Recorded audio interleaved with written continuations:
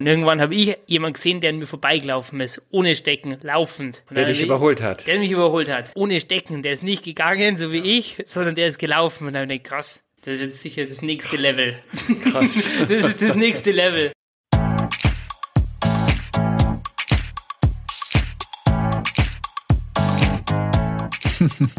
Krass. Nicht nur das nächste Level, sondern auch mein heutiger Gesprächspartner. Philipp Reiter heißt er. Er kommt aus Bad Reichenhall und ist einer der bekanntesten und besten Trailrunner Deutschlands. Außerdem ein hervorragender Skitourengeher. Er war sogar mal in der deutschen Nationalmannschaft. Dann ist er auch noch Fotograf und Outdoor-Filmer und so ganz nebenbei auch noch Markenbotschafter der Alpenstadt Bad Reichenhall, tief im Südosten Bayerns an der österreichischen Grenze.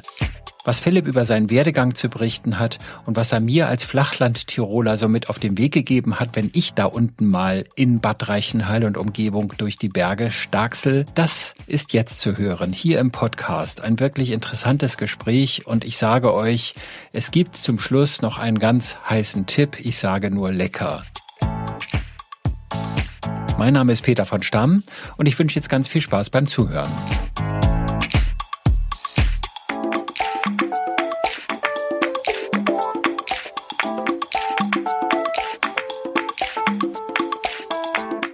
Also ich bin der Philipp, der Philipp Reiter, komme aus Bad Reichenhall. Äh, mein Papa ist da geboren, die Mama kommt aus Wien. Ja, wir sind ja ziemlich nah an der Grenze, das verschwimmt ja so der Übergang zwischen Bayern und Österreich und äh, ich fühle mich schon hier daheim. Und fühlst du dich als Bayer oder als Österreicher? Ja, ich, ich fühle mich hier im Grenzgebiet heimisch. Nein, eigentlich bin ich, ich fühle mich schon als, als Bayer. Ein, ein waschechter Europäer. Ja, könnte man, fast sagen. Nein, ich fühle mich schon als Bayer tatsächlich. Ja, ja, ja, okay, prima. Verrat mir doch mal eins. Also Philipp, du bist Alpinist, heißt es. Du mhm. bist Trailrunner. Wenn ich jetzt hier im Urlaub bin, hier in Bad Reichenhall und ich gehe in die Berge, ich bin, ich man sagt so Flachland-Tiroler, also aus dem norddeutschen Raum, wo man äh, keine Berge hat. Man ist es nicht so gewohnt.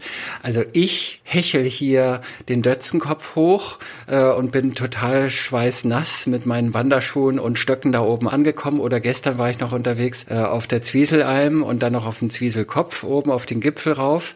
Und dann sieht man plötzlich Leute wie dich, die da an einem vorbei hüpfen und laufen. Also das Joggen quasi in den Bergen. Wie kommt man denn auf sowas Verrücktes? Naja, also ich, wie gesagt, ich bin hier aufgewachsen und äh, das ist hier ja gang und gäbe. Also die die Einheimischen laufen nicht alle rum, aber es sind schon, also viele gehen halt am Berg und machen Sommers wie Winters diverse Sportarten, sei es jetzt halt Skitouren gehen, Klettern, Radlfahren, Klettersteige, Wandern, Berglauf. Das ist einfach, weil es halt vor der Haustür ist. Das muss man schon so sagen. Also Segeln machen die wenigsten, weil es halt einfach hier nicht, beim Chiemsee geht's wieder, aber das, das liegt irgendwie in der Natur der Sache. Und äh, ich bin halt auch so äh, aufgewachsen. Wir sind, ich habe noch zwei Geschwister und die Eltern haben uns total viel mit rausgenommen in die Natur und das ist halt bei uns zwangsweise halt die Berge. Und äh, da kriegt man halt eine gewisse Grundfitness von, von klein auf, von Kindesbeinen an. Und das bringt einem natürlich was. Und das ist, ist jetzt nicht so, dass die kleinen Kinder schon bei unserem Berg hochlaufen. Man muss das natürlich auch trainieren.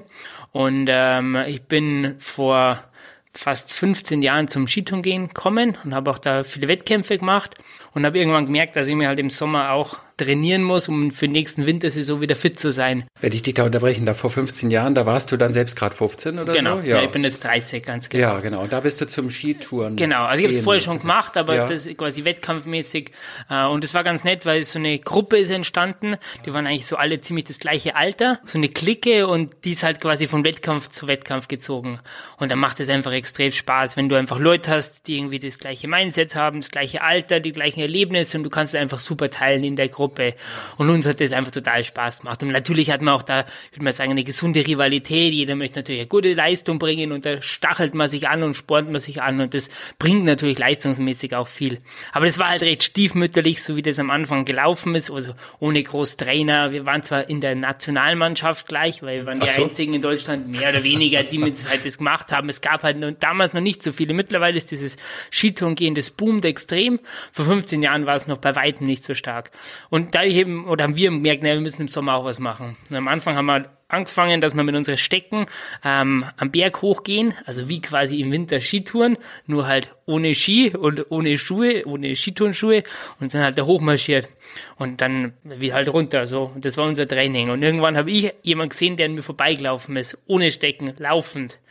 Der dich überholt hat. Der mich überholt hat. Und mit normalen Turnschuhen womöglich. Genau, ich hatte auch also so Halbschuhe halt. So. Ja, ja. Aber der ohne Stecken, der ist nicht gegangen, so wie ich, sondern der ist gelaufen und dann hab ich krass. Das ist jetzt sicher das nächste Level. Krass. Das ist das nächste Level. Ja. Und dann habe ich versucht, auch das nächste Level zu erreichen, sozusagen. Und bin auch am Anfang, war tatsächlich mein Ziel, den Dötzenkopf durchzulaufen. Äh, Und du hast ja selber gesagt, du warst da oben und du weißt, das ist echt steil. Es sind total viele Stufen. Ja, hohe ist- Stufen vor allen Dingen. ja, hohe. Stufen, ja. ja. Ja, Und das sind 400, bisschen über 400 Höhenmeter und zwei Kilometer. Also doch recht komprimierte Höhenmeter. Und am Anfang haben wir das versucht zu laufen. Auch, wir waren ja auch fit vom Skitouren gehen. Aber das geht nicht gescheit. Ja, also der Puls explodiert, der, das Herz brrrt. Und, Das habe ich äh, selbst auch gemerkt, schon ja, beim ja. Gehen, nicht beim Gehen.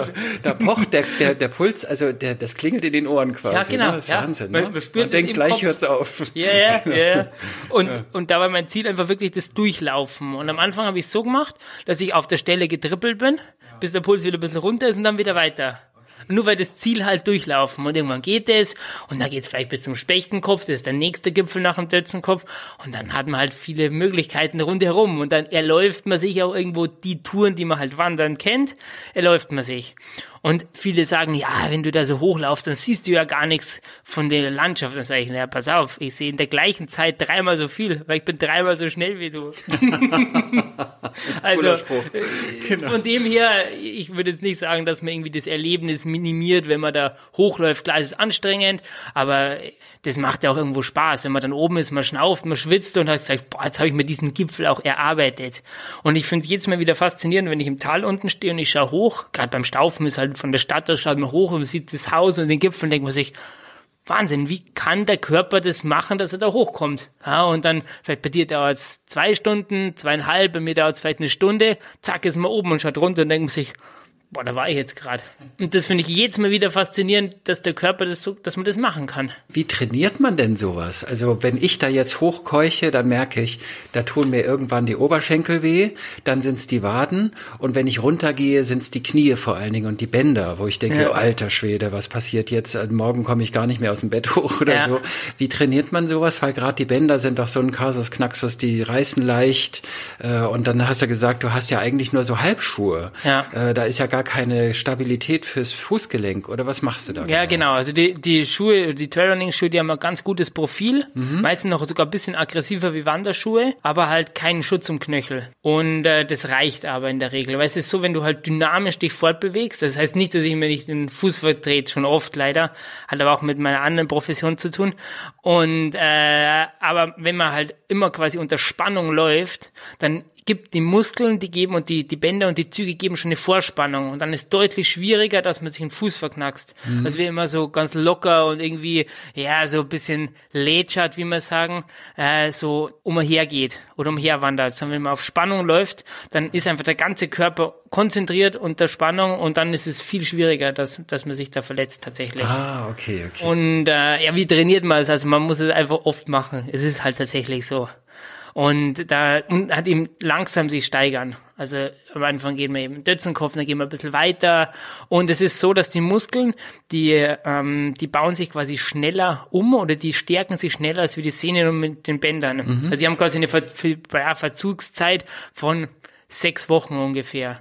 Das heißt, man hat vielleicht das Gefühl, okay, das funktioniert schon muskulär irgendwann relativ gut, aber es dauert, bis sich quasi der Bandapparat auch stärkt. Und das darf man nicht unterschätzen, dass man nicht denkt, okay, jetzt geht's dann schon, aber eigentlich ist noch nicht so ganz stabil. Und was ich auch jetzt trainingstechnisch gern mache, also Ausgleichssportarten natürlich, also gerade wenn man es halt intensiv betreibt, so wie ich, äh, dann merkt man das natürlich schon auch, so ist jetzt nicht, also auch mit Knien und Sehnen und so weiter, aber ich gehe viel Radl fahren, viel Klettern, das ist einfach so diese Grundstabilität und die Körperspannung. Also Radlfahren meinst du mit, Mountain, mit dem Mountainbike in den Genau, Bergen aber auch ganz ja? normal, weil auch es ganz ist normal. so, wenn man mit Klickschuhen fahrt, dass ich aber sowohl beim Laufen als auch beim Gehen immer diese drückende Bewegung. Mhm. Also ich drücke mich ja quasi immer vom Boden weg. Und wenn ich jetzt mit dem Radl fahre und Klicker habe, dann kann ich auch mal ziehen. Das heißt, ich kräftige auch die Antagonisten von den Muskeln. Ich habe immer Ach so, diese, die diese Schuhe, die sich einklicken in die Genau. Pedale und dann ziehst Genau. du das Pedal mit hoch. Genau, Ja, ja. das ist dann quasi genau die andere Muskelgruppe, als was ich sonst habe. Beim Skitouren, beim Laufen, beim Gehen, beim Wandern habe ich immer dieses Wegdrücken und dann beim Radlfahren habe ich immer dieses Ziehen. Und es ist auch wichtig, dass immer der Antagonist auch gestärkt wird, weil nicht immer nur eine Seite kräftig und die andere vernachlässigt, logischerweise dann, dann ist halt die, die Verletzungsanfälligkeit ist viel höher. Und was auch wichtig ist, ist dieses Balance- und Stabilitätstraining. Also ich weiß nicht, Slacklinen ist halt so ein bisschen das, wo man das ja auf einem coolen Weg sozusagen machen kann. Also wenn man so eine Line zwischen zwei Bäumen spannt oder wo auch immer und dann halt zu balancieren probiert. Und es ist so, dass diese ganze kleine Stützmuskulatur, die ist eben schwierig zu kräftigen. Also nur weil ich jetzt halt lauf oder viel Berg gehe, heißt nicht, dass ich auch da Stabilität habe. Und die muss ich eben andersartig kräftigen. Und das Einfache, was, das Einfachste, was, was man so ja, im, im Läufer, in der Läuferwelt so sagt, ist halt, dass man zum Beispiel beim Zähneputzen auf einem Bein steht. Ja, da hat man wenigstens zwei Minuten des Tages oder dann vier, zwei mal zwei oder wenn man brav ist, dann sechs mal sechs Minuten, je nachdem. äh, dass man halt da zumindest äh, schon ein bisschen dieses Balance-Training hat. Und das ist ganz interessant, weil oft hat man ein schlechteres und ein besseres Bein. ja. Und dass man auch genau bewusst versucht, das Schlechtere sich auch drauf zu Und stellen. dann kannst du natürlich Zähne putzen auf der Slackline auch noch machen. Dann ist natürlich dann das nächste, nochmal das nächste Level. Es gibt immer genug Levels nach oben. Genau. Was gibt's denn, wenn wir von Levels sprechen? Was gibt's denn für dich da so für Levels, die du noch erreichen möchtest? Also du machst äh, das, das Berglaufen ähm, äh, im Sommer, du machst äh, das Skilaufen, Skiwandern, das machst du halt im Winter. Ja. Äh, wo geht die Reise noch hin? Was kommt denn dann noch eigentlich? Was hast du so für Ziele? Naja, gut, ich habe eben vorher schon gesagt, ich habe noch eine andere Profession, also ich bin Fotograf und äh, Filmer und halt eigentlich im Outdoor-Bereich, Outdoor-Bereich, nicht nur, aber auch oder hauptsächlich. Und das ist natürlich so, dass du jetzt neben dem, dass du auch fit sein musst, weil du musst ja am Berg hochkommen, du musst mit den Athleten mitlaufen, das ist im Idealfall so. Und du Weil- hast ganz ordentlich Gerödel, Gewicht dabei, wenn du genau. eine Kamera und sowas dabei hast. Du musst ja oder? auch logistisch überlegen, wie machst du das? Hast du genug Speicherkarten, Akkus? Ja. Ist alles dabei? Ich muss trotzdem aber noch agil sein.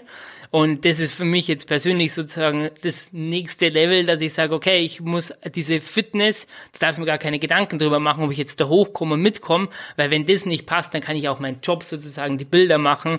Das funktioniert dann nicht, kann man dann nicht mehr kombinieren. Und äh, das finde ich gerade extrem spannend. Und dann bist du nebenbei, bist du ja auch noch Markenbotschafter Mhm. von Bad Reichenhall seit Anfang des Jahres, glaube ich.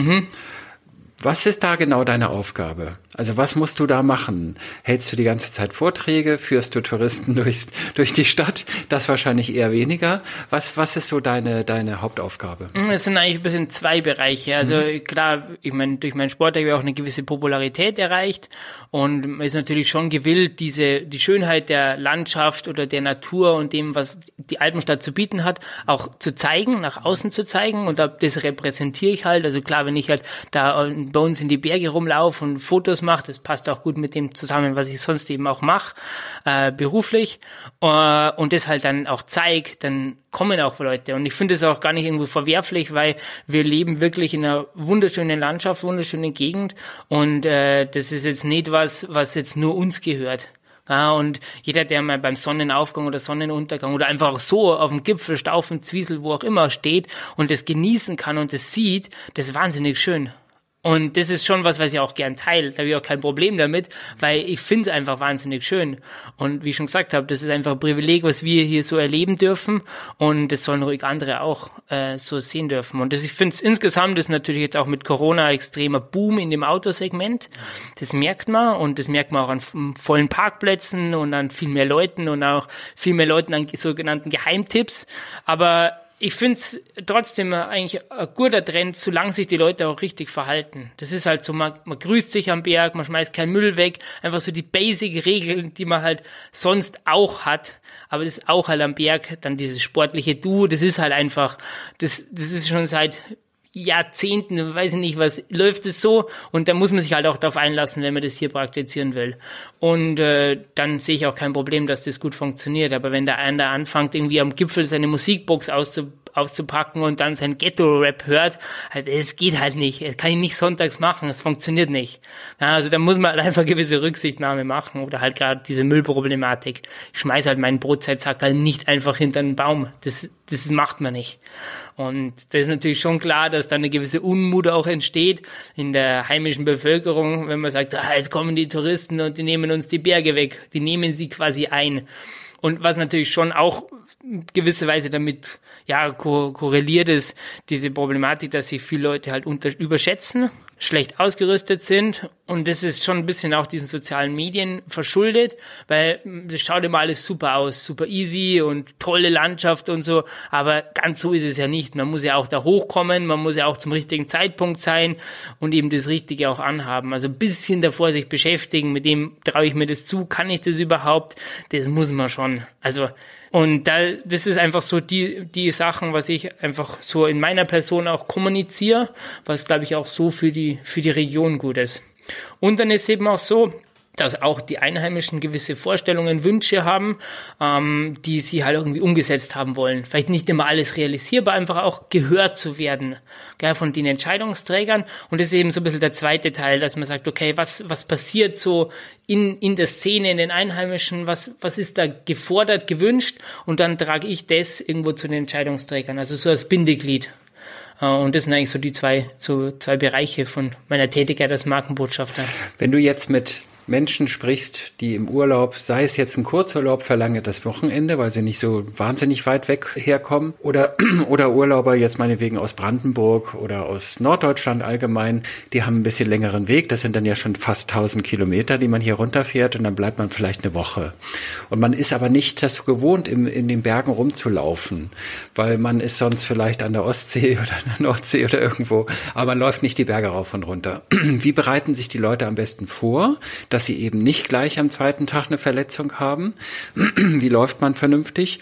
Und, und hast du vielleicht so ein, zwei Tipps, wo man hier gehen sollte, wenn man so frisch in, in den, in den Berchtesgadener Alpen herumstaxelt? Also was so als Tipp ist super schön die Höllenbachalm, das vom Tumsee, so ein eigentlich gut begehbarer Steig, äh, jetzt auch nicht ausgesetzt oder irgendwie, dass man da groß runterfallen kann und sich verletzen kann. Und er äh, geht zu so einer zu der Höllenbachalm eben. Das mhm. ist so eine schöne Alm, das sind Kühe und Wiese und da kann man einkehren, sein Bier trinken, seine Käseplatte Das ist essen. sogar ein Spielplatz, glaube ich. Genau, ja, genau. Das ist ein Spielplatz und das ist einfach je nachdem von welcher Seite man so geht, kann man sogar noch kürzer machen von der Alpenstraße weg. Es ist glaube ich, 300 oder 400 Höhenmeter, mhm. 300 Höhenmeter und vom Tumsee sind es, ich weiß jetzt nicht genau, 500 ungefähr. Und das finde ich am Anfang einfach gut. Und dann gibt es auch Möglichkeiten, das ein bisschen auszudehnen. Ich finde es auch immer ganz gut, wenn man das so ein bisschen optional Möglichkeiten hat, dass man sagt, hey, heute fühle ich mich gut und irgendwie das Wetter ist schön, jetzt gehen wir noch ein bisschen weiter. So, und dann kann man sich wie so ein Baukasten ein bisschen zusammenbauen. Und das Wegenetz ist ja super gut auch ausgeschrieben. Und wenn man sich vorher auf der Karte ein bisschen anschaut, hm, dann kann man sich da echt schön auch was zusammensuchen. Ähm, Berg, Bergschuhe ist aber schon ein Muss. Also schon vernünftige Wanderstiefel. Wanderschuhe macht schon Sinn, gerade am Anfang. Ja. Wie gesagt, ja. wenn die, die Knöchel und die Sehne und der Bandapparat einfach nicht so stabil ist, dann, dann macht es schon Sinn, festes Schuhwerk. Und vor allem diese, diese Sohle ist immer wichtig. Also wie sie, ich sehe schon noch viele Leute mit Straßenschuhen und die sind einfach eine flache oder eine, eine unprofilierte Sohle, so muss man sagen. Und es ist klar, wenn es dann ein bisschen rutschig ist, wenn dann im Wald noch die Felsen mit Moos bedeckt sind, ja klar, wieso soll der Schuh da halten? Der ist ja glatt. Und dann rutscht man da aus. Und durch macht es da keinen Spaß, wenn man ständig am Hintern sitzt. Und von der Ausrüstung her, also äh, man muss halt genügend trinken, genügend essen, gerade wenn man halt einfach das noch nie so gewohnt ist. Der Körper muss, strengt sich an und da ist auch dieser Zuckerspiegel, mit dem spielt man ja auch.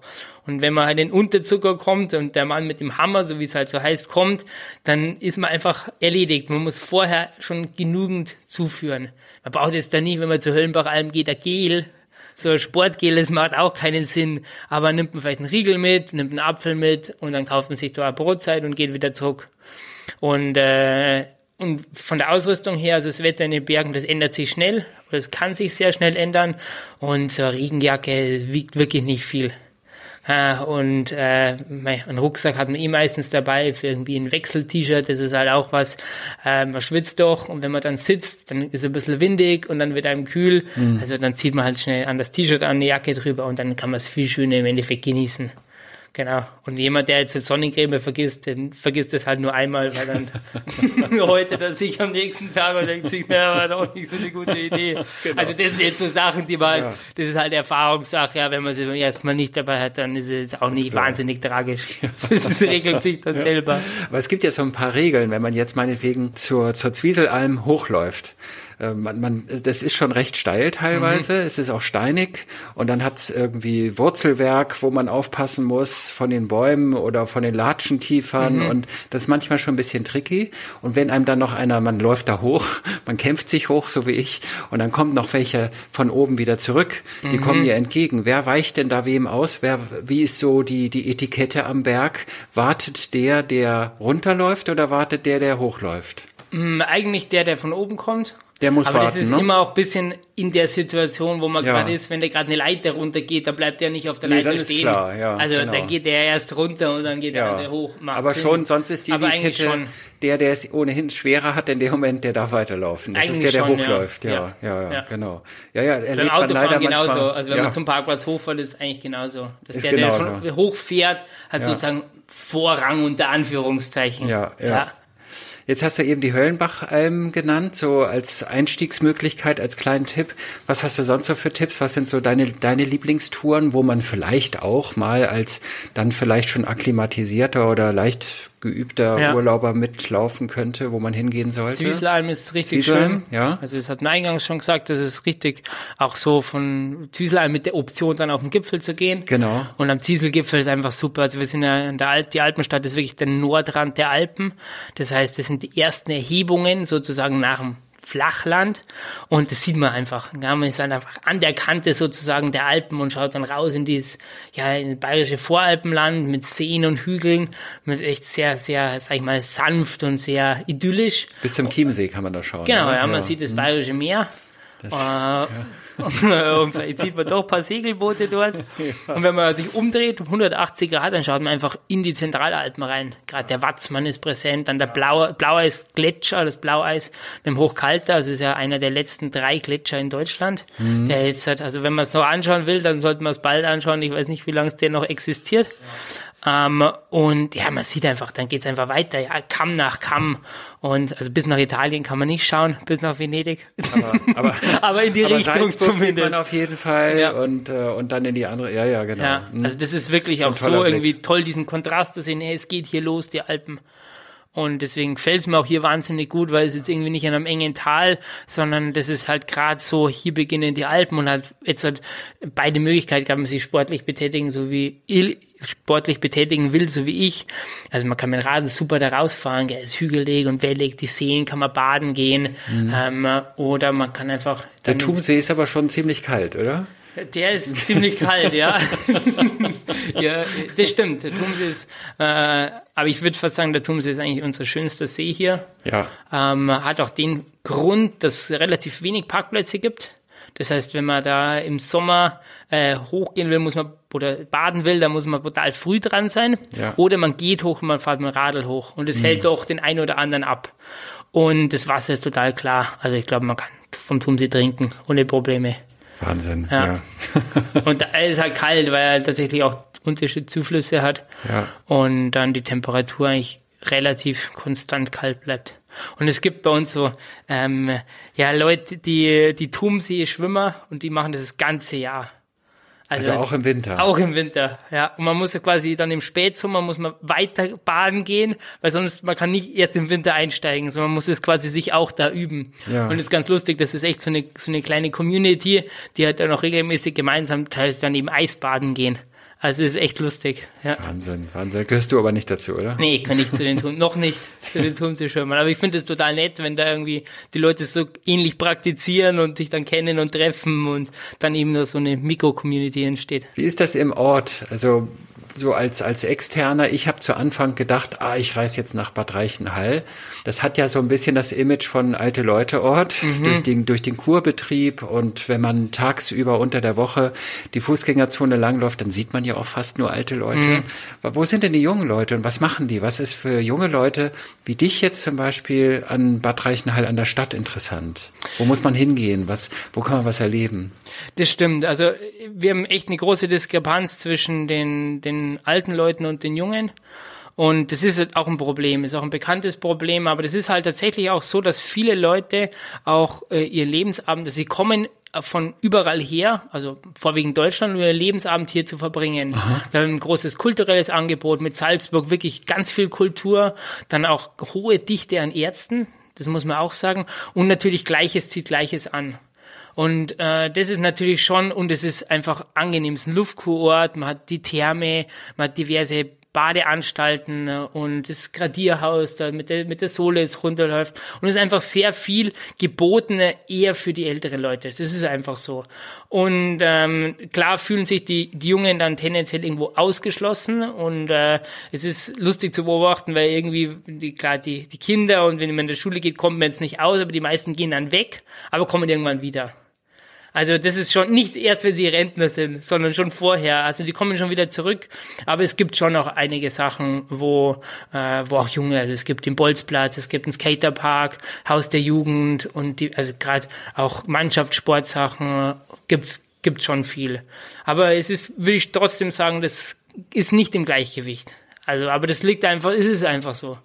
Ja, und äh, ich meine, wir haben echt das Vorteil, einen Vorteil hier, wir haben einfach echt auch eine schöne Innenstadt mit einer schönen Fußgängerzone und es wird auch immer seltener, dass sich sowas halten kann. Und das sehe ich schon auch positiv, dass ältere Leute kommen, die das halt so gewohnt sind und auch noch so leben, die das einkaufen, während junge Leute bestellen bei Amazon. Das ist einfach Fakt. Die gehen nicht in die Fußgängerzone, um sich eine Jacke zu kaufen. Und das ist halt irgendwie auch der positive Effekt von dem, dass man sagt, hey, das erhält, das bleibt irgendwie noch so erhalten. Wenn du jetzt so eine Bergtour gemacht hast, du bist einen Trail gelaufen, irgendwo rauf und runter. Also ich weiß es aus meiner Warte, ich brauche dann immer eine Belohnung. Also man muss sich selbst belohnen mhm. irgendwie und sei es zum Beispiel mit einem schönen, guten Stück Kuchen und einem Kaffee dazu. Machst du das auch? Und, genau. Und wo gehst du da hin? Hast der du das Kuchen, Der Kuchen ist mein, mein ja? Ding. Ja, wo gehst du da hin? Zum, zum Neumeier? Zum Neumeier. Zum Neumeier, ja. Da gibt's ja mehrere im Ort, oder? Genau. Ja. Also ich gehe zum Felix Xaver Neumeier, weil Aha. es gibt auch verschiedene Neumeier tatsächlich. Ach, das ist so ein ja. Clan, so ein Kuchen Kuchenclan. Quasi, ja. Kuchenmafia. nein, nein, aber der ist echt super. Also ich kenne auch den Juniorchef von Xaver recht gut. Mhm. Der ist jetzt äh, vor kurzem Papa geworden und äh, das ist irgendwie auch schön, wie, wie das handwerklich einfach passiert, wie das funktioniert. Und ich schätze es, ich bin viel unterwegs, ähm, auch beruflich bedingt. Und ich finde es total schön, wenn man einfach da hinkommt, die Leute kennen einen, man redet kurz, auch wenn es nur Smalltalk ist, hey, wie geht's da, was hast du erlebt? Und dann äh, ist es nicht so anonym. Und das gefällt mir schon extrem, dass man da irgendwie auch so eine Gemeinschaft ist und sich kennt. Und also am liebsten esse ich fast nach wie vor noch den Schweizer Mandelbogen beim Neumeier. Äh, das ist halt quasi wie so ein Nusshörnchen mhm. mit so Mandelsplittern und Nussfülle innen. Also es ist recht gehaltvoll. Also ja, hört sich so an. Ja. es ist auch nicht so leicht, sondern es ist eher was Schweres. ja. Aber nach so einer brutalen Tour ist das schon ganz gut. Ja, ja, ja. kann ich mir gut vorstellen. Ja. Ich glaube, das muss ich auch nochmal ausprobieren. Mhm. Das das ist da auf der Straße entdeckt. Richtung Berchtesgaden. ah ja, okay. Dann links ist das Café. Ah ja, ja. super. Ja, es ist, das, ist, äh, das kann ich nur sehr empfehlen. Ja. Magst du zum Abschluss noch einen Gruß an die Hörerinnen und Hörer schicken? Ja. Ja, also wenn ihr jetzt Lust habt, hier nach Reichenhall zu kommen, ich kann es euch nur empfehlen. Es gibt wirklich ein großes, vielfältiges Angebot, nicht nur sportlich, sondern eben auch kulturell. Äh, und äh, ja, genießt die Natur, genießt die Therme, den Schweizer Mandelbogen oder die anderen guten Kuchen, die es da so gibt. Und ja, wenn's, wenn's, wenn ich euch über den Weg läuft, dann dürft ihr zurück sehr was sagen. Danke dir, Philipp. Danke. Da fällt mir noch was ein. Du hast gerade gesagt, kulturell auch. Und da hast du Salzburg erwähnt, aber mhm. ihr habt ja auch eine tolle Philharmonie hier. Mhm, genau, ja. Also der, mit dem Daniel Spohr mhm. bist du, glaube ich, auch schon in den Bergen gewesen, oder? Genau, ja. Wir ja? haben schon eine, eine, Tour gemeinsam gemacht. Ja. Und es wäre echt interessant, weil es einfach zwei komplett verschiedene Welten sind. Ja. Aber trotzdem doch viele Überschneidungen und viele viele Ähnlichkeiten in dem, was man macht, wie man es macht, wie man sich vorbereitet, wie man aufgeregt ist, wie man auch zu einem Punkt fit sein muss. Ja, egal ob ich jetzt, jetzt an der Startlinie stehe oder dann vorm Publikum, da muss es passen. Da kann ich nicht nur sagen, hm, ich hätte doch noch mir die Noten anschauen sollen oder das. Oder ich kann nicht sagen, nee, hätte ich doch noch das trainiert, sondern das ist zu spät. Also dem Punkt muss es passen. Und es war echt spannend, obwohl es so unterschiedlich war, war es doch so ähnlich. Prima, schönes Abschlusswort. Danke dir, Philipp. Ja, danke auch. Danke, danke.